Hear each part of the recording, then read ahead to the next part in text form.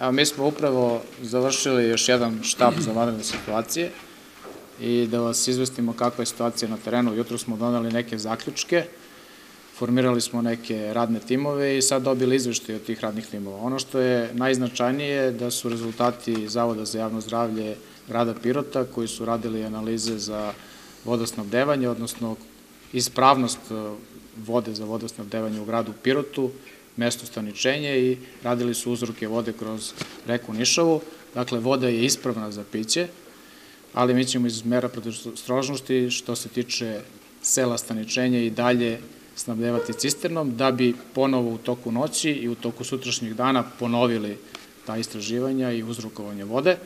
Nadamo se da ako je sada ispravno za piće, da će biti naravno i sutra. Drugi radni tim koji imao još komplikovaniji zadatak, koji je predvodila gospođa Anita Dimovski, pomoćnik ministra za saobraćaj i infrastrukturu vezano za železnicu Srbije, je u kontaktu sa Cargo Srbijom, sa Eleksirom Prahovo i sa e, sektorom za vanredne situacije. Oni su nam otprilike predočili kakva je situacija na terenu i, terenu i koji je redosled koraka nadalje. Očekuje se da u narednim danima, u narednih nekoliko dana, to neće trajati baš kratko, budu uklonjene cisterne koje nisu ispale iz šina, dakle morate da vodite računa o svakom koraku, koliko smo od njih čuli, dakle cisterne koje su usmerene ka Nišu će biti u toku jednog dana izvučene, do staničenja, cisterne koje su okrenute ka Pirotu, drugim vučnim lokomotivom da budu izvučene ka Pirotu i onda će se pristupiti sanaciji ovih cisterni koji, koji su prevrnute, a njih je četiri. Videli smo na štabu za vanredne situacije i snimak iz drona, iz sektora za vanredne situacije. Tačno se vidi iz koje cisterne curi amonijak, curi u malim količinama, ali ipak curi, vidi se. Po mišljenju ljudi iz Eleksira Prahovo, to će trajati minimum još 48 časova. Ja se zahvaljujem i Ministarstvu zaštite životne sredine, pošto smo uz njihovu pomoć obezbedili dva merna instrumenta i njihovo postavljanje očekujemo upravo sada u ovim trenucima.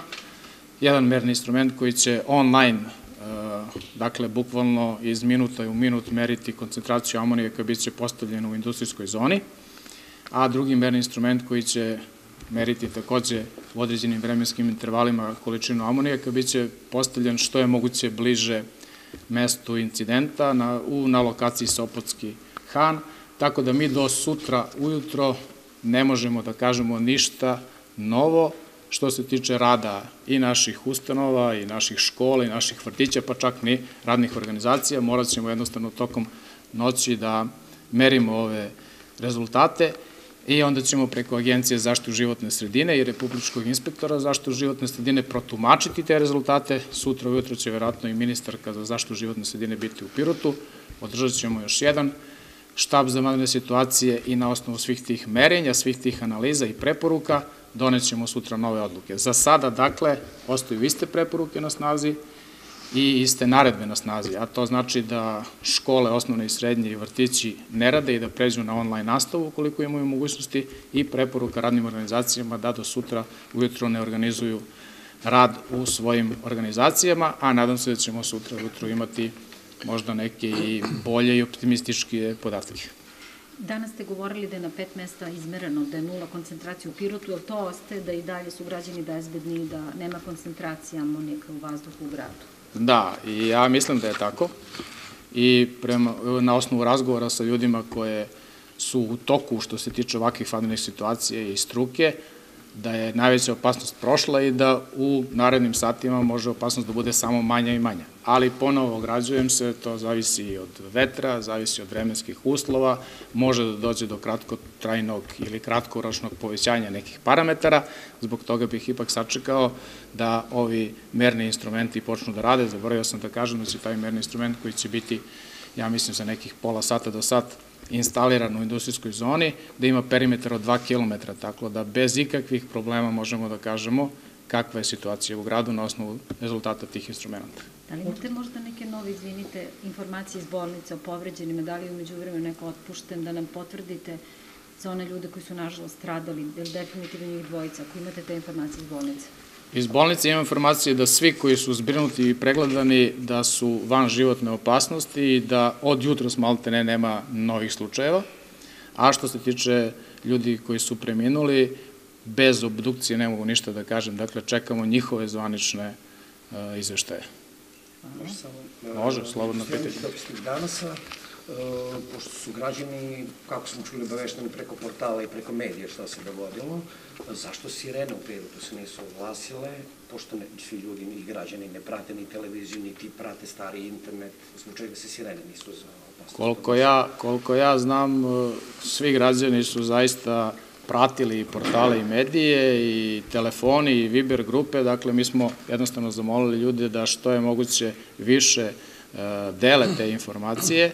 Mi tek ove godine imamo u planu da radimo akustičnu studiju za grad Pirot i za upotrebu sirena i mislim da upotreba sirena juče bi možda unela dodatnu paniku, bez da razjasnimo u toku ove godine kako će raditi sirene, u kojim slučajima se upotrebljavaju, ko izdaje naredbu, kakvi su zvučni signali i tako dalje, tako dalje, ali to nam je zaista u planu e, da u buduće i taj sistem obaveštavanja funkcioniše. Hvala. Hvala, ili ima još neko pitanje? Da li je komisija donela konačnu odluku, odnosno preporuku šta će biti učinjeno? Da li je moguća e, sanacija e, te cisterne ili će biti e, dozvoljeno da to iscuri? Ja to ne mogu precizno da vam kažem, mogu samo da kažem šta su nagovestili kao moguće rešenje. Dakle, dok ne sklone ove delove kompozicija sa leve i desne strane, da tako kažem, i ne vide u kakvoj je situaciji prevrnuta cisterna, ne, e, ostaće tako kako jeste. Ljudi e, koji se bave tom strukom iz eleksira kažu da je najverovatniji ishod da se pusti i da je najbezbednije da se pusti da isturi u vazduh sa smanjenim protokom kao što je sada i da je to najbezbednije. Jel imate još neko pitanje? Dakle, da podvučem još jednom što se mene tiče, vodosnabdevanje uredno, bezbednost u gradu uredna, sve komunalne službe rade uredno i Nišava po izveštajima Zavoda za javno zdravlje nije ugrožena. Imaćemo naravno e, informacije u toku noći i sutra ujutro o svim bitnim parametrama vezane za kvalitet života u gradu. Hvala. Hvala.